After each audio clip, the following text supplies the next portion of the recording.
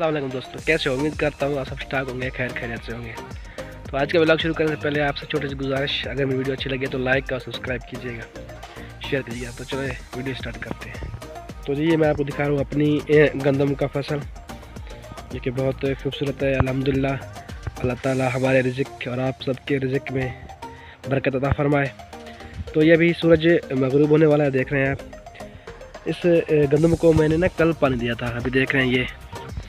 यहाँ से हमने पानी दिया, ये छोटा सा हमारा कैनाल है, वहाँ से आता है। तो इसको हमने पानी दिया था। आप देख रहे हैं, अल्हम्दुलिल्लाह, बहुत अच्छी गंदम का फ़सल है हमारे यहाँ यहाँ।